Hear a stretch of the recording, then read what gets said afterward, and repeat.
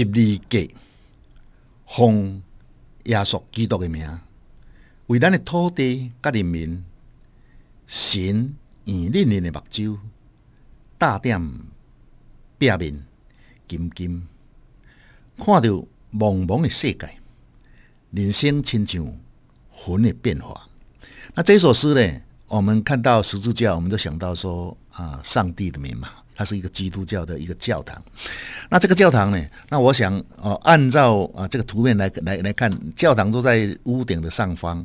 那屋顶的上方里面，右边你有看到两个圆圆的，好像眼睛哈，就是这个是形象，就是说教堂建筑外表的形象，让我们做一些联想。所以我讲，呃，奉耶稣基督的名，为咱的土地甲人民。因为我们到教堂去都是一种祈祷，我们的心情就要祈祷啊，这个上帝能够保佑我们平安，或者能够增加我们的知识嘛。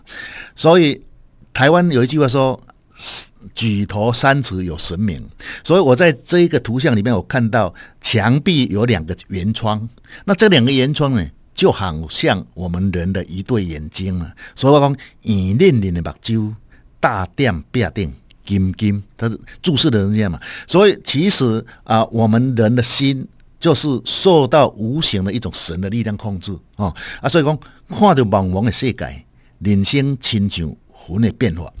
我想你看到云，你觉得说，哎，云变化无穷嘛？云有时候可以变成绵羊，有时候可以变成老人，有时候变成其他的一个东西。所以云的变化就表示人生的变化无常，跟浪一样，浪云这这件东西，我们知道所谓借景抒情，就是说我们要把我们的思想情感寄托在某一个这个物象里面，用具体的。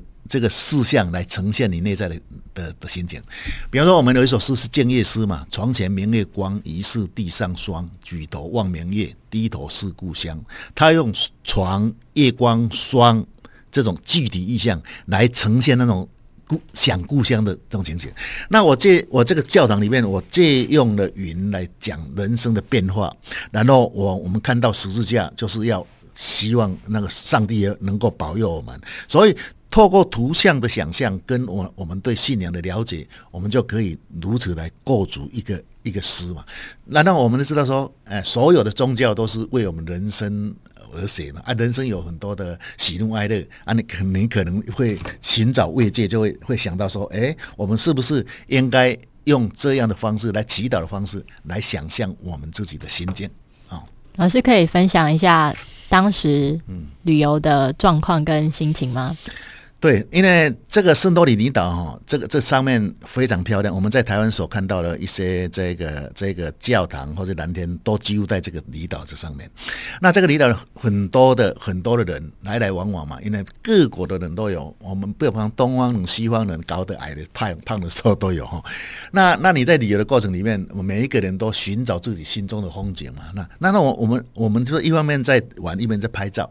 在拍照的过程中，我们在取景。那取景拍下来的时候，我感觉到，哎，我仔细再看一下，哎，好像那两个眼睛也在注视着我哈啊，所以我就我我回来的时候，我就想说，呃，应该把这一种感觉把它写成了。那这个有一个经验嘛，我们我们是想说，哎，神在冥冥之中都在我们周围嘛，啊，其实墙上也有两个眼，然后隔隔隔墙有耳。哎，也也许也有缘嘛哈啊，所以这样的生生活方式或者这样这样的那个旅游经验哦，使我们说，哎，任何一个场景，只要你有去思考，你就可能在从形象里面获得一种启示，或者说啊，你看到别人在那边拜。非常虔诚，所以他虔诚里面，他他是想些什么东西？我想每一个人去拜，每一个人的心里都不一样。有的人祈祈求健康，有的人祈求说发财，有的人祈求说啊让儿子怎么样，顺怎么样哈。所以啊，我们要知道说，这个是教堂啊，教堂的属性是什么东西？所以我们写这首诗的时候，有没有考虑到啊，这个教堂到底给人的心灵有些什么样的注意？这样啊，十二给。